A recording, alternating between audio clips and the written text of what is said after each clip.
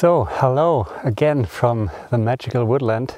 I couldn't help myself, I had to get back because there was quite some new snow this week. So, if you look around, uh, last time I was here, there were a lot of trails already going through the forest, a lot of footprints. Those are now covered. The only footprints I now have is, I'm not sure, might be a deer or something. so, yeah, I had to come back. Uh, it seems I'm the first photographer now to explore the fresh snow here. And yeah, this is also the challenge because I have to be very careful not to trample the compositions.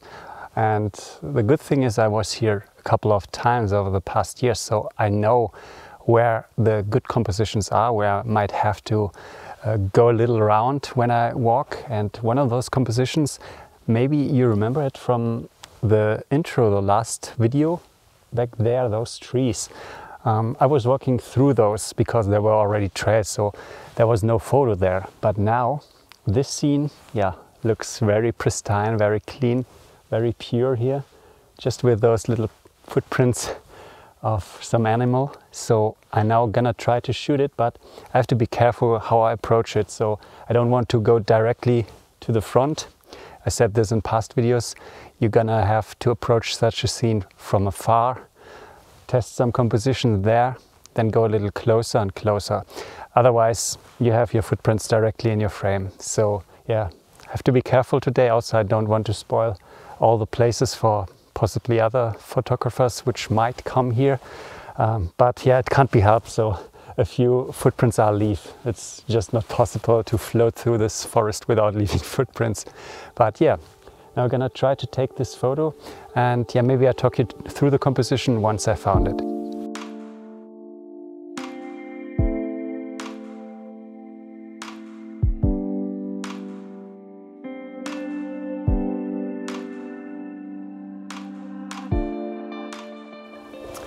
So, I have to admit, I'm not 100% sure about this composition, something which is quite usual for those winter expeditions.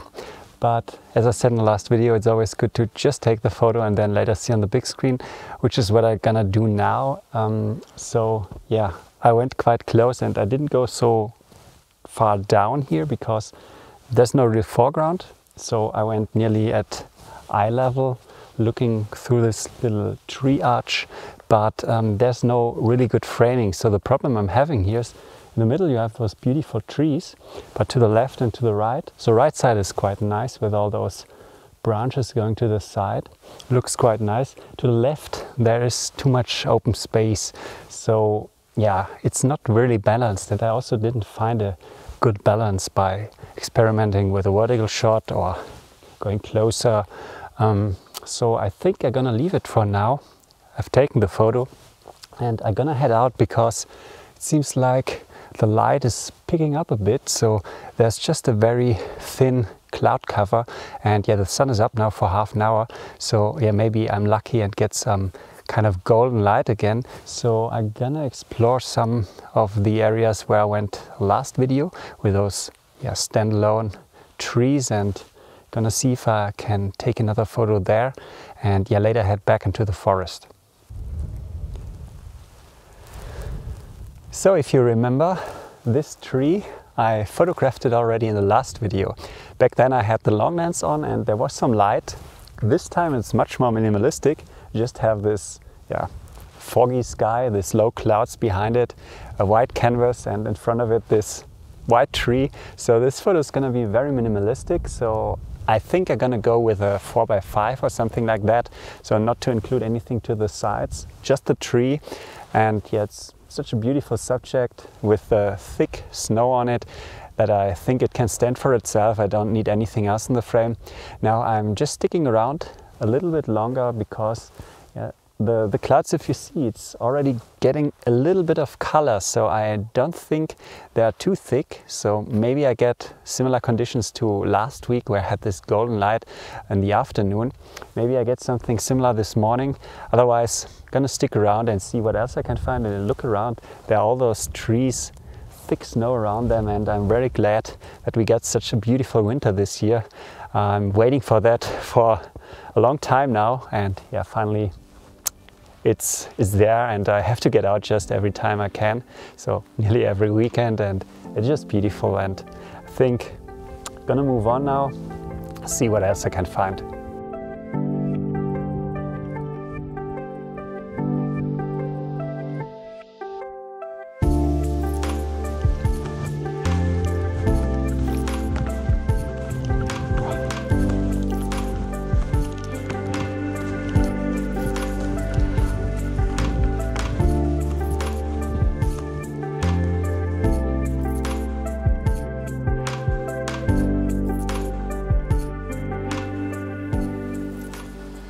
So I've now come back to an old friend, which you see behind me, the striding tree.